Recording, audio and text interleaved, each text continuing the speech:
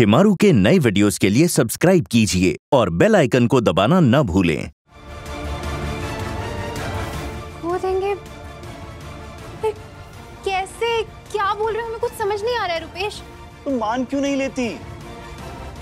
आज से पहले हमने तुमसे इतने सवाल किए कभी? इतनी जिद की है?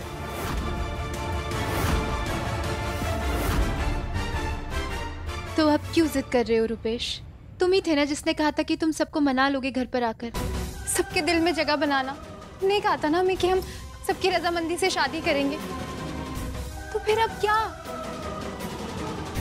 रुपेश भैया पंखुड़ी बुआ सही कह रही है। आपको ऐसे दादाजी को बिना बताए नहीं शादी करनी चाहिए। दादाजी को भी कितना बुरा लगेगा और ताऊ जी को भी।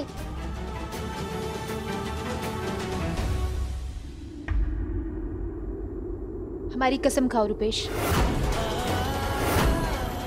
क्या चल रहा है रुपेश? क्योंकि जिस रुपेश से हम प्यार करते हैं इतना लापरवाह नहीं हो सकता।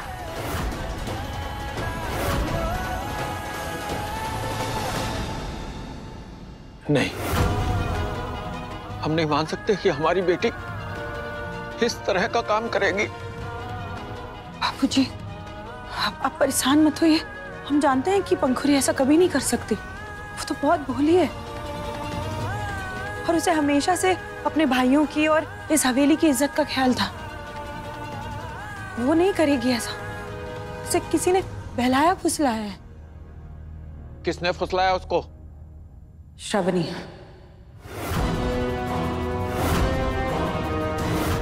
आखिर बेटी किसकी है? और हमें लगता है ये केसव भी मिला है उसके साथ। झूठ! झूठ बोल रही हैं आप। सरासर झूठ। इंदिरा भाभी हम चुपचाप खड़े, इसका मतलब ये नहीं कि आप कुछ भी बोलती जाएँगी। पंखुड़ी कोई छोटी बच्ची नहीं है, जो हमारी आठ साल की बच्ची उसे बहला देगी। और रह गई बात हमारी तो भला हम ऐसा क्यों करेंगे? जब से इस हवेली में हम वापस आए हैं, तब से हमने किसी से बात नहीं की है। चुप हो जाओ तुम।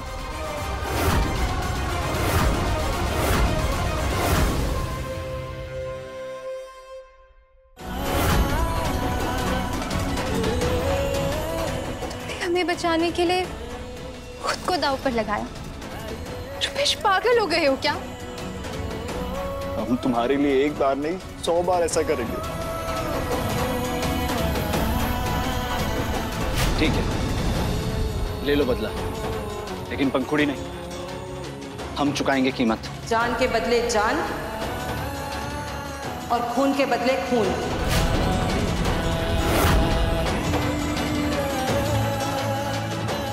तुम्हारे प्यार को ना यहाँ पर कोई समझने वाला है नहीं हर कोई हमारे जैसा नहीं है। यहाँ से निकल के भाग जाइए पंखुड़ियों को लेकर।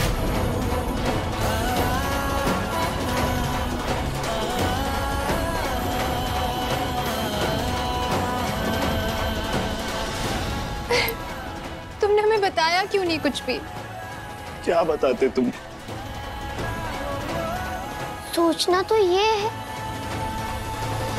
कि चंद्रा ताई जी हम सबके बीच में क्यों घुस रही है? उन्हें सब पता है। लेकिन हमें भी कुछ समझ नहीं आ रहा है। हमसे उन्होंने कहा कि वो सब संभाल लेंगी। लेकिन एक ही शर्त पर कि हमें आज रात ही यहाँ से भाग जाना चाहिए। आज ही हम दोनों को शादी कर लेना चाहिए और यहाँ से चले जाना चाहिए। वरना तुम मुश्किल में आ जाओगी।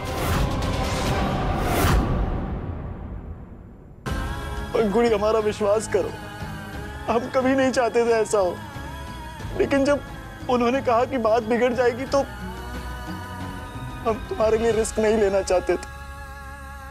रुपेश भैया आपको नहीं लगता कि ये सारी उनकी चाल है?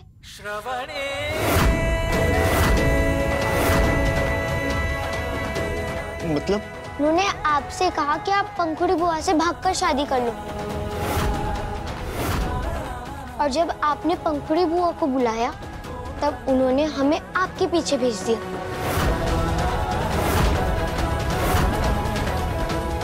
लेकिन इससे उन्हें क्या मिलेगा? अगर ये सब भानु ताऊ जी ने सुन लिया तो? देखा बाबूजी देखा आपने? केशव के इस घर में आने से कैसा सब पूरा घर बिखर गया।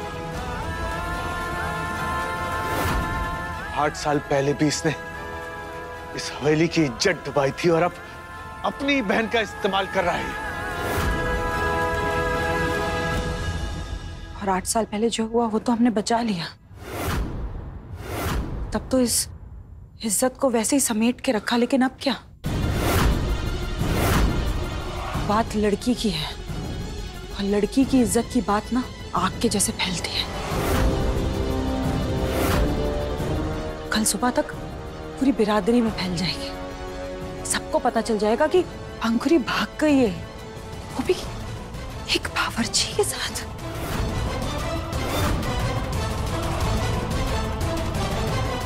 और एक बार मान मर्यादा और इज़्ज़त पे दाग लग जाए ना तो सरयू जी का पानी भी लेकर आएँगे ना, उस दाग को धो नहीं सकते।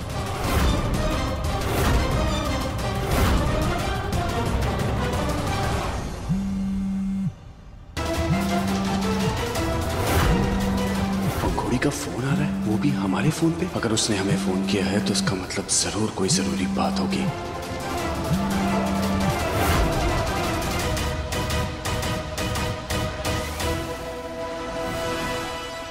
तुम शायद सही कह रहे हो। शायद ये एक सही रास्ता है। पर इतना बड़ा कदम उठाना बहुत ज़्यादा घबराहट हो रही है। एक बात तो तय है। इसके बाद इस हवेली के दरवाजे हमारे हमेशा हमेशा के लिए बंद हो जाएँगे। ऐसे ही जैसे केशव भैया के साथ हुआ था आठ साल पहले। हाँ बिल्कुल।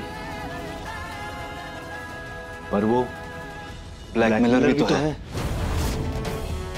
चंद्रा भाभी ने भले ही कहा था कि वो सब कुछ संभाल लेंगी लेकिन पंखुड़ी अगर उन्होंने कुछ नहीं संभाला तो?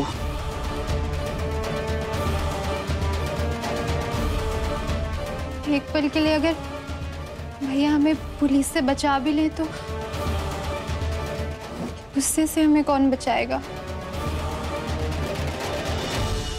और कहीं गुस्से में आके उन्होंने हमारी शादी वीरेन से करा दी तो? नहीं हम ये नहीं कर सकते। पंखुड़ी हमारे पास ये शहर छोड़ के जाने के अलावा और कोई रास्ता ही नहीं है। रुपेश भी अब पंकुड़ी बुआ आपको ऐसे नहीं करना चाहिए। आपको दादाजी को बता देना चाहिए। बेटा तुम बहुत छोटी हो अभी। हमारी मजबूरी तुम नहीं समझोगी। माना कि हम छोटे। माना कि हमें कुछ कुछ बातें समझ नहीं आती। लेकिन हाँ आप जो करने जा रहे हैं वो बहुत गलत है। नहीं शबनी बेटा तुम तुम रुपेश को गलत समझ रही हो। तो हमारे लिए जान तक देने को तैयार था। पर आज आज हालात बहुत अलग हैं। भानु हम कह रहे हैं ना पुलिस को फ़ोन लगाओ। पुलिस को फ़ोन लगाए? और क्या कहें पुलिस से? कि घर की जवान बेटी जवान बहन भाग गई। ये कहें? ऐसा कुछ नहीं है। हो सकता दोनों बच्चियाँ किसी मुसीबत में हो। नहीं बाबूजी कोई मुसीबत में नहीं है। आप सच को जुटला नहीं सकते। का मतलब? मतलब? आप ही पूछ लीजिए बाबूजी अपनी लाडली बहू से।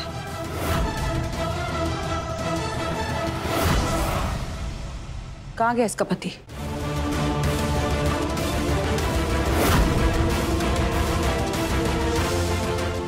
यही तो था अभी। अब कहिए बाबूजी अब भी आप यही कहेंगे कि ऐसा नहीं हो सकता। बहू केशव कहाँ है? बाबूजी वो बाबूजी ये आपका भरोसा कभी नहीं तोड़ेंगे और ना ही हमारा।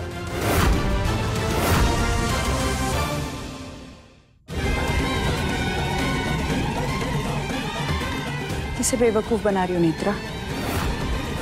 सच सच कहो कि शादी कराने गए मासूम श्रवणी का हौसलों भरा सफ़र देखने के लिए अभी अपने टीवी पर लगाइए शिमारू उमंग।